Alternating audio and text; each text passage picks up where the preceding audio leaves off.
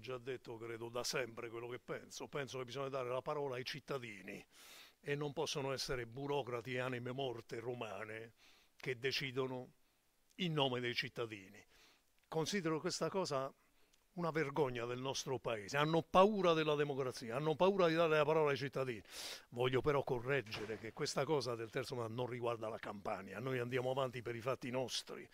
Sento e leggo sui giornali che la Lega fa la proposta per il terzo mandato per il mio amico Zaia.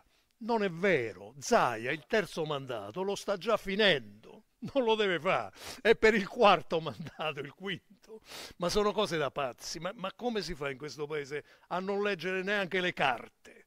La proposta della Lega per il terzo mandato, le, eh, Zaia lo sta finendo il terzo mandato, lo ha già fatto, quindi noi andremo avanti perché non abbiamo recepito la vecchia legge nazionale, quindi da quando la recepiremo scattano i due mandati, quindi noi andremo avanti nei secoli dei secoli.